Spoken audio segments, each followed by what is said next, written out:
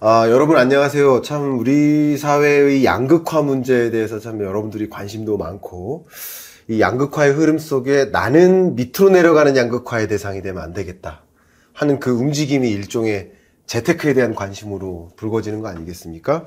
그래서 이 분야에 대해서 박정호 교수님하고 아, 이 양극화의 흐름 뭐가 문제고 이게 어떤 영향이 있고 그럼 나는 어떻게 대응을 해야 될지 음.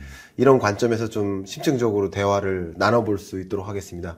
경읽남과 토론합시다. 오늘 초대 손님 박정호 교수님입니다. 안녕하십니까? 예, 안녕하세요. 다 아시겠지만 잠깐 자기 소개 네. 부탁드립니다. 어, 우리 부동산 읽어주는 남자뿐만 아니라 경제 읽어주는 남자를 쫓아다니면서 열심히 어, 경제와 관련돼서 전도사 역할을 하고 있는 박정호입니다. 아, 좋습니다. 참 이 손에 잡히는 경제 예. 진행하시느라고 네. 엄청 바쁘잖아요. 맨날 그거 daily로 하니까 정신 없죠.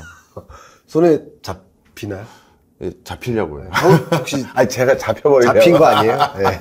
자 쓸데없는 얘기하고 넘어가도록 하겠습니다. 일단 단도직입 적으로 예. 지금 우리 사회의 양극화의 흐름이 네. 어 저도 이제 제 채널에서 여러 번 이야기를 했는데 음. 명확한 것 같습니다. 네. 아, 명확하게 양극화의 흐름이 전개되고 있다 이렇게 음. 보고 있는데 어, 흐름을 어떻게 감지하고 계세요?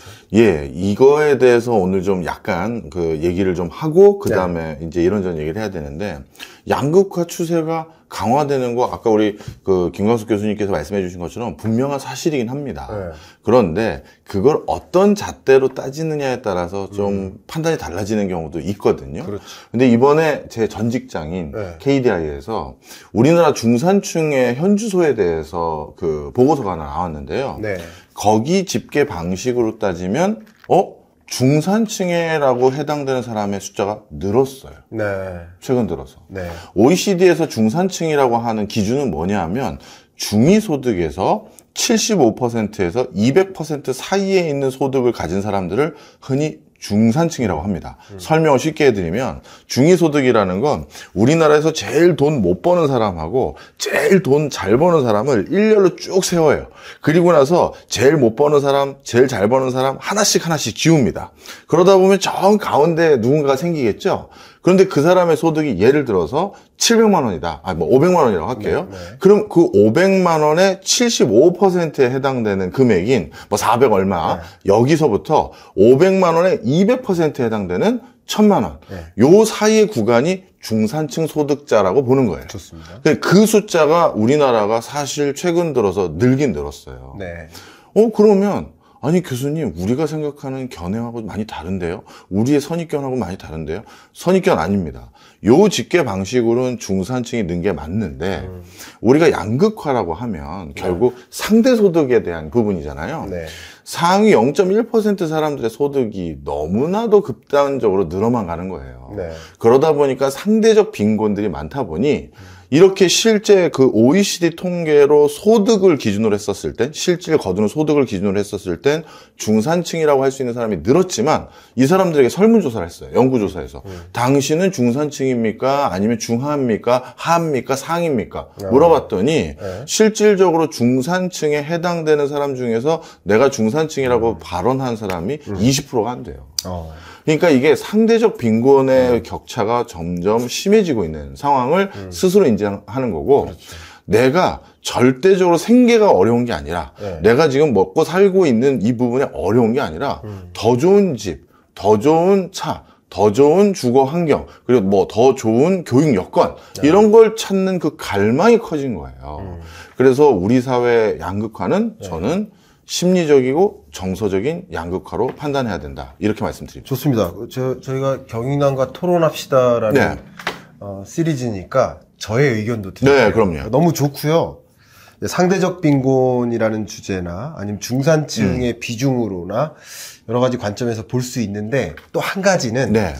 중산층을 제외한 음. 나머지 고소득층과 저소득층 이들의 비중이 줄어들어도 고소득층의 평균 소득과 저소득층의 평균 소득은 과거에 비해서 더 격차가 벌어지는 거죠. 음. 그렇기 때문에 양극화라는 현상은 나타날 수 있다. 중산층이 두터워져도 이런 어떤 생각도 하나 해볼 수 있겠네요. 네. 저는 개인적으로 이 양극화를 설명할 때 크게 두 가지로 구분하는데 음. 하나는 소득 양극화, 두 번째는 자산 양극화. 네. 그러니까 지금은 약간 소득 양극화에 해당되는데 음. 우리 소득 수준을 가지고 1분위부터 5분위까지 소득 수준별로 구분을 하면 네. 상위 20% 고소득층과 하위 20% 고소득층이 있는데 상위 20% 고소득층의 소득은 최근 한 2년 동안 8% 정도 늘어요. 예. 근데 하위 저소득층의 20% 이들의 명목 소득은 그냥 실질 소득을 감안하지 않고 명목 소득만 봐도 소득이 오히려 줄어요. 예. 그러니까 양극화가 일어나는 거예요. 소득의 네. 양극화. 그리고 두 번째는 자산 양극화인데요. 저는 이 부분이 더 심각하다고 볼수 있을 것 같아요. 음. 그렇기 때문에 우리가 경제를 공부하고 돈을 어떤 형태로 가지고 있을까 이걸 고민해야 된다고 보는데 자산 가치의 증가 속도, 그러니까 우리 가구별 자산 규모가 있잖아요. 그것의 증가율을 계산해 보니까 최근 10년 동안 한 번도 마이너스를 찍은 적이 없이 한 번 마이너스 참. 음. 한번 마이너스를 찍고 나머지는 다 플러스예요. 그 플러스의 정도는 더 강해져요. 네. 근데 소득의 증가 속도는 굉장히 주춤하거나 밑돌아요. 네. 그러니까 이 얘기는 결국 자산을 보유한 자와 보유하지 않은 자 간의 격차가 왜냐면 자산 가치가 10년 동안 한 번 빼고는 다 늘었으니까 갖고 있던 자산에 그러니까 자산에는 뭐 현금성 자산도 있지만 실물 자산도 있으니까 보유한 자산의 가치가 계속 강해지니까 음. 자산을 보유한 자와 보유하지 않은 자 간의 양극화가 또 벌어지고 이런 여러 가지 양극화의 흐름이 나타난다라고 저도 보고 있어요. 그래서 이런 말씀 중에 뷰는 다르지만 그 양극화라는 현상은 정말 뚜렷하게 나타난다라고 저도 보고 있거든요. 네. 이 부분 어떻게 혹시 생각하십니까? 정말 좋은 시사점을 네. 주셨어요. 네. 사실 뭐 김광석 교수님도 도와주시겠다고 흔쾌히 도와주시겠다고 해서 네. 저희가 새로 시작하는 프로젝트가 하나 또 있잖아요. 맞아요. 네. 어, 명지대학교의 그 산업대학원에서 네. 실물투자 분석 학과를 저희가 만들기로 했지 않습니까? 네, 석사 과정으로. 예. 그래서 이제 김광석 교수님도 뭐 지금 또저 직을 가지고 계시지만 어떤 형태로든 인발부해서 도와주시기로 했는데 예. 한 학기에 한 과목은 제가 커버해드려요. 더해. 한 과목. 아이씨. 한 과목. 알았어. 하여튼 예. 나중에 어, 그, 어, 학교에서 한번 혼나요, 회의를 하시기로 한 거예요. 예. 자, 그런데 음. 저희가 이걸 만들었던 이유도 금액락이에요. 네. 무슨 소리냐? 정확한 지적을 해주셨어요. 소득으로 따지면 중산층의 소득계층이 는 게 맞죠. 예. 통계청 집계로 그리고 국세청 집계로 한 거니까요. 음.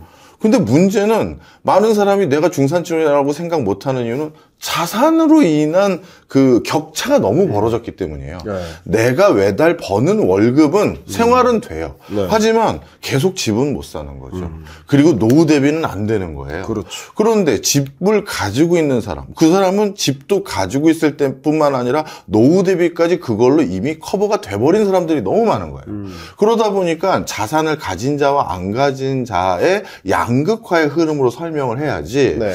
뭐 KDI 보고서에서는 어떤 소득을 가지고 집계한 뭐 제가 그걸 완전히 잘못됐다는 게 아니라 고관점에서는 물론 중산층이 두터워졌다고 할 수 있겠지만 네. 우리가 심리적으로 내가 중산층이라고 생각 못하는 이유는 방금 우리 김광석 교수님이 지적해 주셨던 소득이 아니라 자산으로까지 포함시켜서 얘기하면 상황은 달라집니다라는 얘기가 정확한 거고요. 네, 네.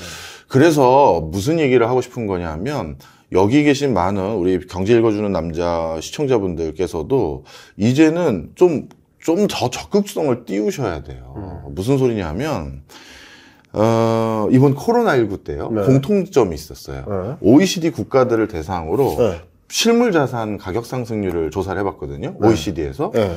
그랬는데 코로나19 기간 동안 당연히 방역하겠다고, 재난지원금 주겠다고, 음. 또 그리고 경기 부양하겠다고 국가들이 돈 엄청 썼잖아요. 그렇죠. 미국 같은 경우는 글로벌 금융위기 때보다 더 썼고 음. 사실 미국은 지금도 돈을 계속 쓰고 있고. 그렇죠. 그러면 자연스럽게 돈이 이렇게 많이 풀리면 무슨 가치는 떨어지고 무슨 가치가 올라요. 네, 돈의 가치가 떨어지고, 떨어지고 자산 가치가 올라가는 실물 자산 가치가 올라가는 그렇죠. 거죠. 네. 그래서 OECD 국가 태반이 부동산 가격 상승이 어마어마하게 올라갔어요. 그렇죠. 그런데 지금 많은 OECD를 기반으로 한 통계를 가지고 연구한 학자들의 공통 consensus가 뭐가 하나 있냐면 네. 야, OECD 국가들이 이번 코로나19 때문에 재정이 거덜났어. 음. 원래도 초고령 사회에 진입한 지가 15년 이상이 돼서 국민연금 이미 다 고갈됐고 뭐 재난지원금 아, 저뭐 의료보험 수가 다 이 저장해 놨던 거 다 고갈돼서 음. 세금으로 벌충하고 있었는데 네. 갑자기 코로나 터지니까 돈을 추가적으로 엄청나게 더 썼고 그래서 재정이 완전히 거덜난 거예요. 네, 네. 그런데 OECD 국가들도 우리랑 선거 행태는 똑같아요. 음. 점점 박빙이에요. 전 세계 모든 선거가. 네. 어, 다음번에 언제 한번 나와서 왜 박빙인지 말씀드릴 텐데 네. 그러다 보니까 이 선거에서 이기려고 국회의원들 대, 통령 후보들 뭐 합니까? 제가 더 드릴게요. 음. 제가 이 예산 더 써서 복지 더 해드리겠습니다를 서로 묻고 더블로 가의 정책을 하는 거예요. 네. 그러니 지금도 많은 국가에서 복지 정책을 계속 선거 때마다 두툼하게 하는데 네. 제가 그걸 하지 말자는 게 아니라 그걸로 인한 현상을 말씀드리는 겁니다. 네. 그런데 앞으로도 선거 있을 때마다 이것도 제가 더 드리겠습니다. 이것도 제가 더 드리겠습니다. 할 수밖에 없는 게 선거인데 네. 그럼 그 재정은 뭘로 감당하지? 음. 감당이 안 되는데. 네, 네. 그럼 국채 발행해서 또는 돈을 아예 노골적으로 찍어서 하게 된단 말이에요. 네.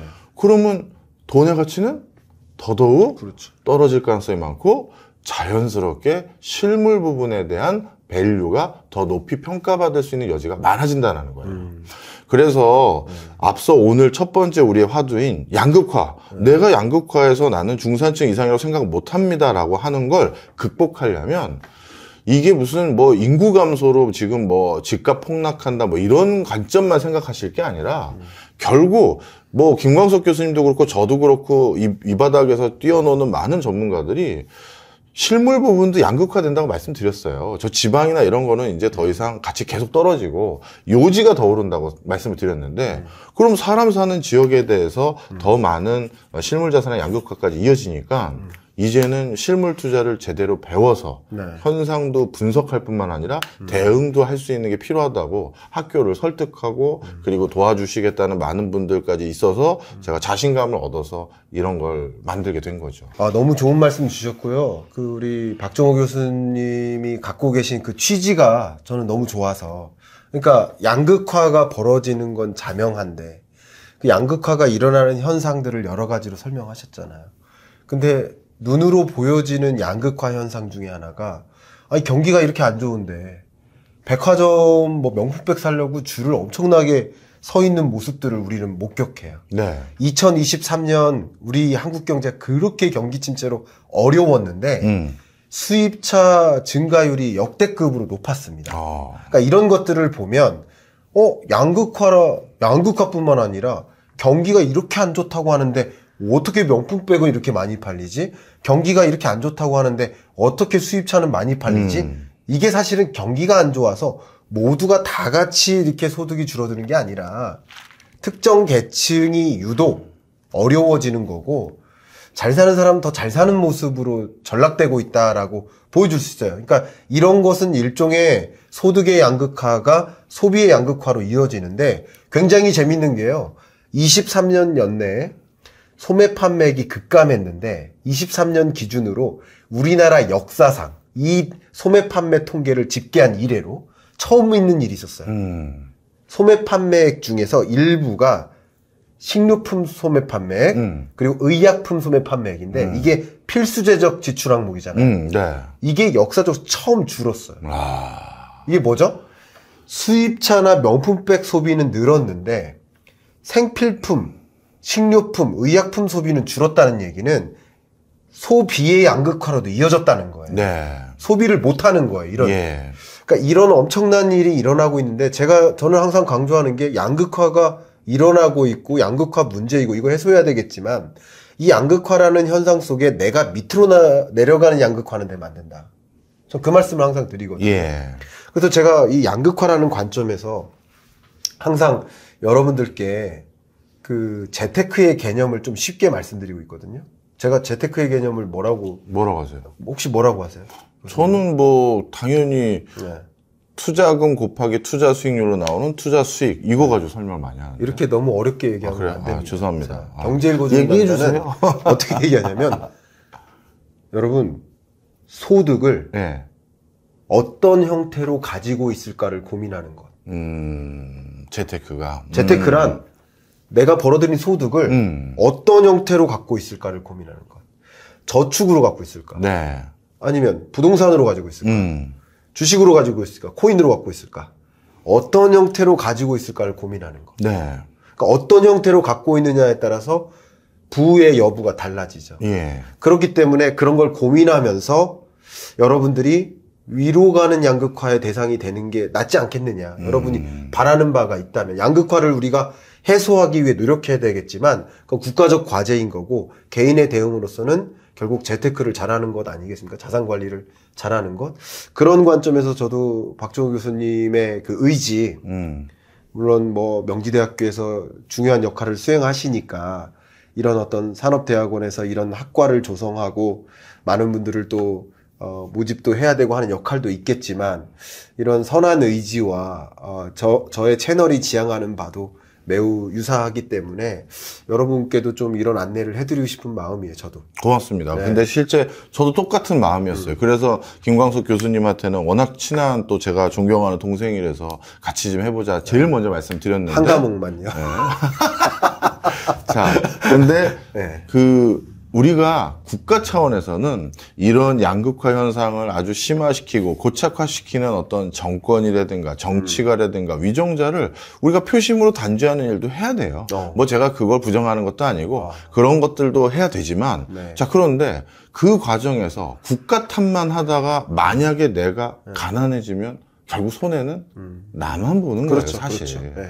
그래서 국가를 단죄하고 바른 사회 만드는 유권자로서의 노력, 그거보다 더 적극적인 노력도 하셔야 되죠. 당연히 네. 해야 되고, 네. 저도 그런 거 하려고 방송에서도 피 터지게 얘기할 때도 많아요. 네. 그런데 우리 가족과 나의 노후는 일단 내가 챙기는 걸 먼저 해야지. 네. 누구 탓하면 결국 내 손해거든요. 음.